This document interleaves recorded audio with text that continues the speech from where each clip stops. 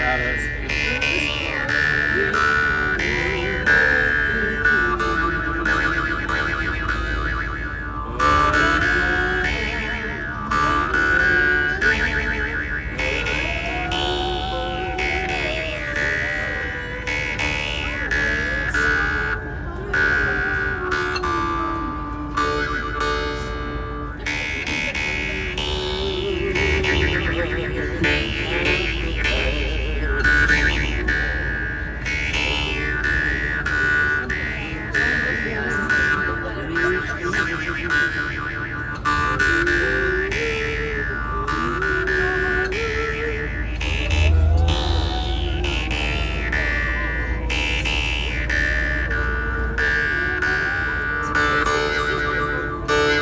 There you go, Tennessee Wolves. All right.